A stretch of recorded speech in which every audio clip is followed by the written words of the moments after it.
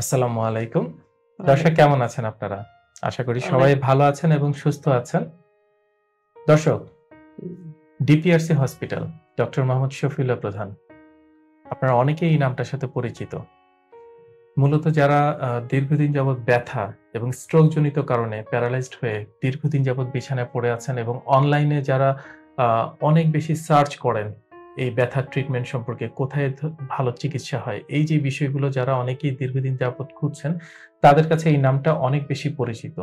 এবং অনেকেই আছেন, হয়তো আপনাদের আশপাশে এরকম অনেকেই আছেন যারা স্যারের ট্রিটমেন্ট নিয়ে এখন সুস্থ এবং স্বাভাবিক জীবনে ফিরে গেছেন, স্বাভাবিক সব কাজকর্ম করতে পারছেন।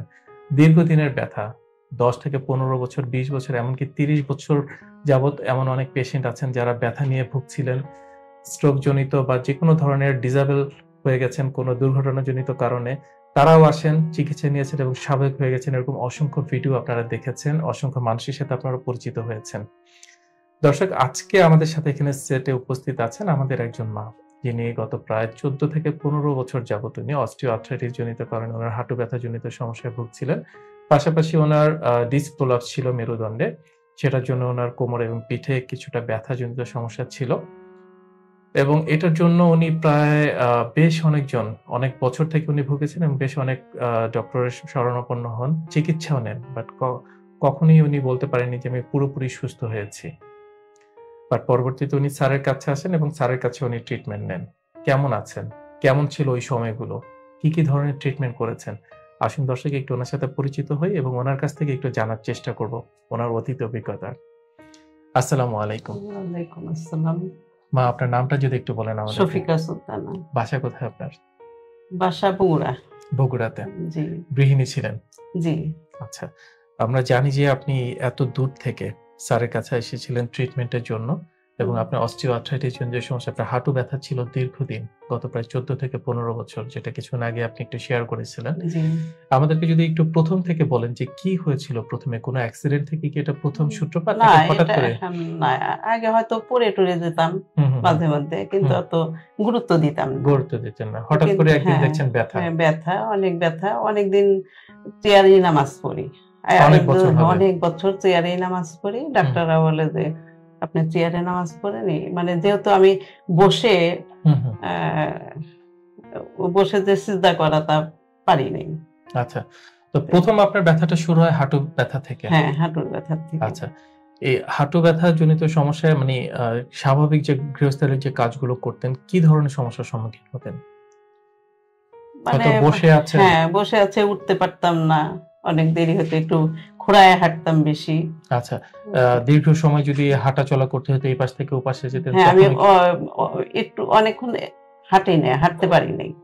মানে আচ্ছা, কিছুক্ষণ যেয়ে বসতে হতো আমার। মানে আচ্ছা। পাঁচ মিনিট হাঁটলেই আমার যায় বসতে হতো। মানে আগে যেরকম হচ্ছে সংসারের কাজ না, দ্রুত সময়ের ভিতরে। করতে পারতেন এখন আমি সংসারের কাজ তো করিই না। এখন ধরতে গেলে করিই নাই। মানে একটা সময় যেমন পুরো সংসার হ্যাঁ, আপনি নিজে একাই হ্যাঁ সামলাতেন একাই সামলাতাম। সেই মানুষটা এখন দেখছেন যে হঠাৎ করেই আর আপনি আগের মতো করে ওরকম কাজ করতে পারছেন না। আচ্ছা পিঠে ব্যথা মানে কোমরে ব্যথাটা ঠিক কতদিন থেকে?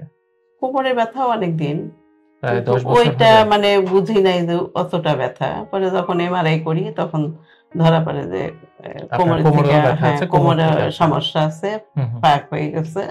এটা আচ্ছা তো এই হাঁটু ব্যথার জন্য যখন প্রথম ডক্টরের কাছে যান কি বলেছিল ডক্টর? তখন কি বলেছিল এক্সরে করল তবে বলল যে এটা অনেক ক্ষয় হয়ে গেছে হুম, হুম, হুম। এটা আপনার হয়তো থেরাপি করতে এটা এক অপারেশন করলে হয়তো আপনি ফিট হবেন না আর মানে একবারে ফিট হবেন না। আচ্ছা। কোনো ডাক্তারই বলে নাই যে আপনি এটা কিওর একবারে হবেন তা না। আচ্ছা তো ওনারা যে ট্রিটমেন্ট দিয়েছিলেন সেটাতে কি কোনো উপকার পেয়েছিলেন বা এরকম কোনো প্রথম প্রথম কিছুদিন উপকার পাইছি তারপরে আর কিন্তু যত দিন যাচ্ছে আরও দেখছেন যে ধীরে ধীরে হ্যাঁ, খারাপের দিকেই যাচ্ছে। সবচেয়ে খারাপ কি হয়েছিল? এমন হয়েছে যে সকালে ঘুম থেকে উঠতে গেলে প্রচণ্ড কষ্ট হতো বা ব্যথার জন্য না এখন তো ওইটাই আগে তো এরকমই কষ্ট হতো পরে যে আমি একজনের কাছে জানতে পারি আমার ছেলের ফ্রেন্ডের মায়ের কাছে তো আমি ওখানে তেরো চোদ্দ দিন ছিলাম। ডিপিআরসি হসপিটালে হ্যাঁ ডিপিআরসি তাতে আমি অনেক সুস্থ। সেই জন্যই আমার আশা মানে, সরাসরি হ্যাঁ, তখন চলে আসেন স্যারের সাথে যোগাযোগ করে তারপরে আসি এখানে এসে আমরা জানি যে মাঝখানে আপনি একটু পড়ে গিয়ে আপনার হাতে হ্যাঁ একটা পেইন ছিল। হ্যাঁ, ওটা এখানে এসে কিওর হয়েছে ওটা আচ্ছা। নাই। তো যখন ভর্তি হয়ে যান ট্রিটমেন্ট নেওয়া শুরু করেন জি। সেই প্রথম দিন ভর্তি হয় এবং আজকে পর্যন্ত ওভারঅল কেমন আছেন?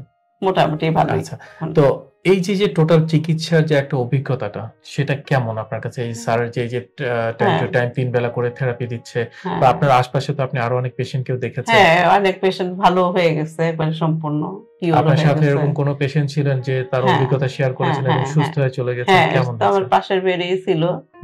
উনি ভালো হয়ে সুস্থ হয়ে গেছে এক মাস ছিল এক মাস আট দিন উনি সুস্থ হয়ে চলে আচ্ছা। গেছেন তো এই যে আহ, আগের থেকে তো এখন মোটামুটি একটু বেটার আছেন। হ্যাঁ এখন বেটার আছি। ভালো আছেন। হ্যাঁ এখন মোটামুটি বেটার আছে। অসংখ্য দর্শক আছেন ক্যামেরার ওপাশে। যারা হয়তো হ্যাঁ, জানেন না যে। বাংলাদেশে আসলে এই ধরনের চিকিৎসা হয় বা এই যে ব্যথাজনিত সমস্যা মানুষ। দীর্ঘদিন যাবৎ ভুগছেন যে আহ, বাংলাদেশে এই ধরনের উন্নত চিকিৎসাগুলো হয় তাদের জন্য যদি কিছু বলেন। আচ্ছা দর্শক দর্শকরা আপনিও এখানে এসে যোগাযোগ করতে পারেন। আপনারা হয়তো উপকার বুঝবেন। আপনারা দয়া করে আসতে পারেন এখানে। আলহামদুলিল্লাহ। ধন্যবাদ আপনাকে মা। দর্শক শুনলেন আমার এই মায়ের কথা চিকিৎসা আছে চিকিৎসা নাই তা না। শুধুমাত্র আমাদেরকে একটু খুঁজে নিতে হবে। শুধুমাত্র রোগ নিয়ে বছরের পর বছর অপেক্ষা করার কিছু নেই। যখনই সময় পাবেন যখনই রোগ হবে সরাসরি কনসালটেন্টের কাছে যান। বারবার এই মেসেজটা আমরা আপনাদের কাছে পৌঁছে দিই। এই যে এতগুলো পেশেন্ট আছেন, এতগুলো মানুষ আপনাদের সামনে এসে তাদের জীবনের অভিজ্ঞতাগুলো তুলে ধরেন, তার একটাই উদ্দেশ্য, তারা তাদের জীবনে যে ধরনের সাফার করেছেন, আপনারা অন্তত সেই সাফারটা যাতে করতে না হয়। সুস্থ স্বাভাবিকভাবে আপনারা বাঁচতে পারেন, সুস্থ হয়ে বাঁচতে পারেন। ভালো থাকবেন, সুস্থ থাকবেন। আসসালামু আলাইকুম। আমরা জানি আপনার প্রিয়জন আপনার জন্য কতটা গুরুত্ব বহন করে। প্রপার ডায়াগনোসিস কনসালটেশন পেইন ও প্যারালাইসিস চিকিৎসা পুনর্বাসন আমাদের সব আয়োজনই সব সময় আপনাদের জন্য চব্বিশ ঘণ্টা খোলা। আমরা চাই না আপনারা বারবার আমাদের কাছে ফিরে আসুন তবুও আমরা আছি সব সময় সর্বদা আপনাদের পাশেই। ডিপিআরসি হসপিটাল লিমিটেড আস্থা বিশ্বাস ও নির্ভরতায় অবিচল।